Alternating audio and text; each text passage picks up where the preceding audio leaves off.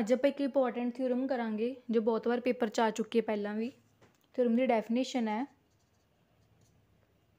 let G be a group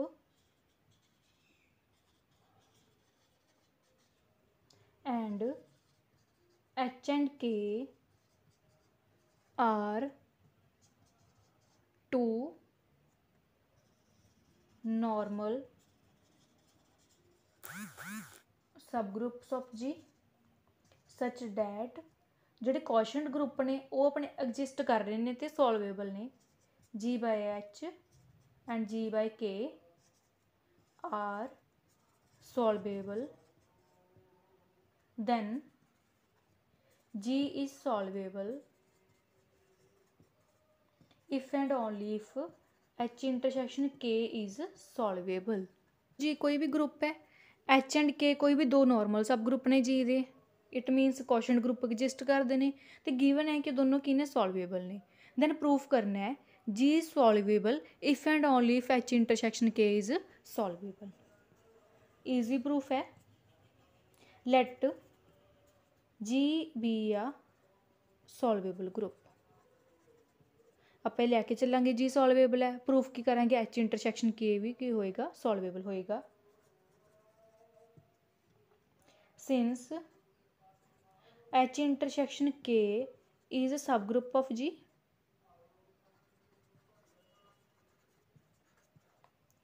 H ਵੀ ਕੋਈ ਵੀ ਸਬ ਗਰੁੱਪ ਹੈ G ਦਾ ਸਪੈਸ਼ਲੀ ਨਾਰਮਲ ਹੈ ਦਿੱਤਾ ਹੋਇਆ, H ਨਾਰਮਲ ਹੈ G ਦੇ ਵਿੱਚ ਤੇ K ਵੀ ਨਾਰਮਲ ਹੈ G ਦੇ ਵਿੱਚ।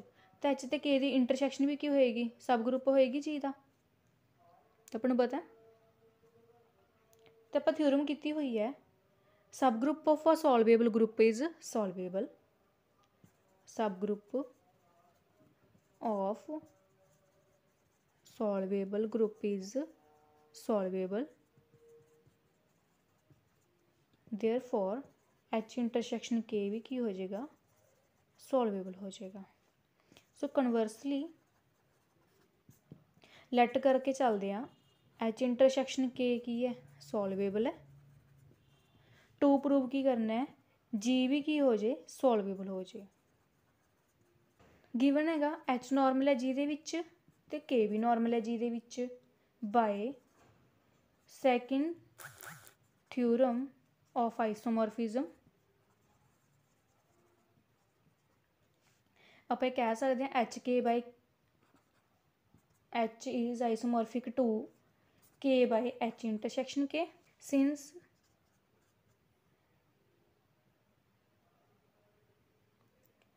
hk by h is subgroup of g by h.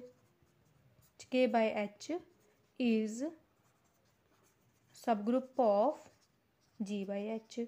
ਕਿਉਂ? G ਦਾ ਸਬ ਗਰੁੱਪ h ਕੇ ਤਾਂ ਹੁੰਦਾ ਹੀ ਹੈ, ਨੀਚੇ h ਹੈ। G by h ਦਾ ਸਬ ਗਰੁੱਪ ਕਿਸ ਤਰ੍ਹਾਂ ਦਾ ਹੋਏਗਾ? G ਦਾ subgroup divide by h ਆਪਾਂ ਲਿਖਿਆ, h ਕੇ ਸਬ ਗਰੁੱਪ ਹੈ g ਦਾ। G by h ਗਿਵਨ ਹੈ ਕਿ g by h ਸੋਲਵੇਬਲ ਹੈ। ਐਂਡ ਗਿਵਨ ਹੈ G by H is solvable and G by H is solvable so theorem use करा subgroup of a solvable group is solvable then H K by H is solvable J A solvable है then A भी solvable होएगा.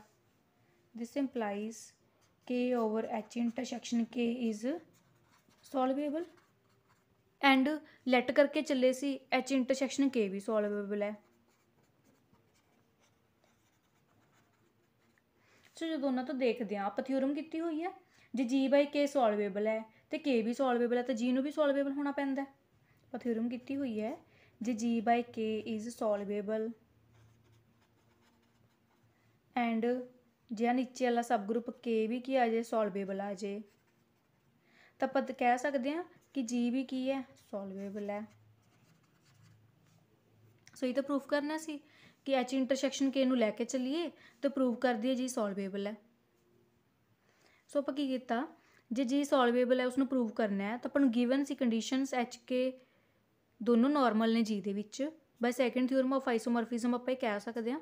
ਸੋ ਆਪਾਂ ਨੂੰ ਪਤਾ ਹੈ ਵੀ hk by h ਕਿਸ ਦਾ ਸਬ ਗਰੁੱਪ ਹੈ? G by h the. And g by h given ਹੈ ਸੋਲਵੇਬਲ ਗਰੁੱਪ ਹੈ। ਸੋ hk by h we solvable ਹੋ ਗਿਆ ਜੇ H K by H solvable ਹੈ ਦੈਨ ਇਹ ਵਾਲੀ ਚੀਜ਼ ਇਸ ਦੀ ਆਈਸੋਮੋਰਫਿਕ ਹੈ K over H intersection K ਵੀ ਸੋਲਵੇਬਲ ਹੋ ਗਿਆ and H intersection K solvable ਹੈ ਦੈਨ ਆਪਾਂ ਨੂੰ ਇੱਕ ਡੈਫੀਨੇਸ਼ਨ ਪਤਾ ਆ ਵਾਲੀ ਠੀਕ ਹੈ ਜੀ ਬਾਈ ਕੇ ਸੋਲਵੇਬਲ ਹੋ ਗਿਆ ਤਾਂ ਕੇ ਵੀ ਕੀ ਹੋਵੇ ਸੋਲਵੇਬਲ ਹੋਵੇ ਦੈਨ ਜੀ ਵੀ ਕੀ ਹੁੰਦਾ ਹੈ ਸੋਲਵੇਬਲ ਹੁੰਦਾ ਹੈ quotient group and subgroup ਜੇ ਸੋਲਵੇਬਲ ਨੇ ਤਾਂ ਗਰੁੱਪ ਵੀ ਕੀ ਹੁੰਦਾ ਹੈ ਸੋਲਵੇਬਲ ਹੁੰਦਾ ਹੈ ਸਿਮਿਲਰਲੀ ਇੱਥੇ ਆਪਣੇ ਕੋਲ ਬਣ ਜਾਏਗਾ ਹੈਂਸ ਜੀ ਬਾਈ ਕੇ ਸੋਲਵੇਬਲ ਹੈ ਤੇ ਕੇ ਵੀ ਸੋਲਵੇਬਲ ਹੈ। ਤਾਂ ਪ੍ਰੂਵ ਕਰਨਾ ਸੀ ਜੀ ਵੀ ਕੀ ਹੋ ਗਿਆ? ਸੋਲਵੇਬਲ ਹੋ ਗਿਆ। ਹੈਂਸ ਦਾ ਪ੍ਰੂਫ ਇਸ ਦੇ ਨਾਲ ਹੀ ਆਪਾਂ ਫਿਨਿਸ਼ ਕਰ ਚੁੱਕੇ ਆਂਗੇ ਕੋਮੋਟੇਟਰ ਸਬ ਗਰੁੱਪ ਦੀ ਡੈਫੀਨੇਸ਼ਨਸ ਕਰ ਲਈ ਆਪਾਂ ਨੇ, ਠੀਕ ਹੈ? ਐਂਡ ਇਸ ਦੇ ਥਿਊਰਮ ਦੇਖ ਚੁੱਕੇ ਆਂਗੇ ਸੋ ਆਪਾਂ ਸੋਲਵੇਬਲ ਗਰੁੱਪ ਦੀ ਡੈਫੀਨੇਸ਼ਨ ਵੀ ਪੜ੍ਹ ਲਈ ਤੇ ਸੋਲਵੇਬਲ ਗਰੁੱਪ ਦੀਆਂ ਸਾਰੀਆਂ ਥਿਊਰਮ ਵੀ ਕਵਰ ਹੋ ਚੁੱਕੀਆਂ ਨੇ। ਸੋ ਆਪਾਂ ਨੈਕਸਟ ਤੋਂ ਟੌਪਿਕ ਸਟਾਰਟ ਕਰਾਂਗੇ, nth ਸੈਂਟਰ ਵਾਲਾ। ਸੈਂਟਰਲ ਸੀਰੀਜ਼ ਬਾਰੇ ਦੇਖਾਂਗੇ। Okay friends thank you